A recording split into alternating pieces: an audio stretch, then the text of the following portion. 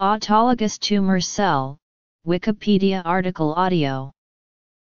An autologous tumor cell is a cancer cell from an individual's own tumor. This article incorporates public domain material from the U.S. National Cancer Institute document Dictionary of Cancer Terms.